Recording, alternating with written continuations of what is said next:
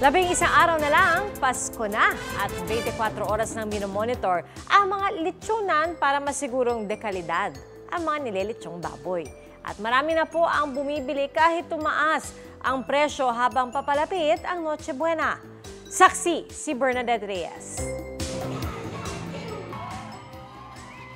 Sa kaliwat ka ng celebration during the holidays, may isang bida sa mesa na talaga namang hindi pa kakabog ang malutong at katakam-takam na lechon.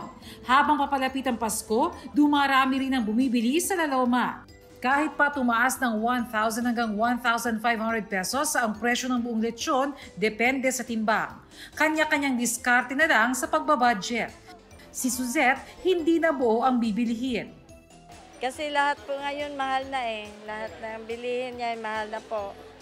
Kaya sa para ma ano i-budget sa lahat ng kung ano-ano pa po ang bibilin.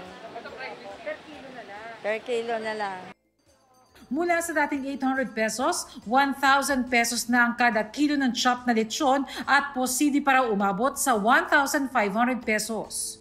Hindi naman talaga nakakagulat kasi every Christmas nagtataas yan talaga. Para tiyaking malinis at ligtas sa African swine fever ang ihahandang lechon sa Pasko at Bagong Taon, ininspeksyon ng Quezon City Veterinary Department ang mga baboy mula sa mga slaughterhouse, timplahan at lechonan.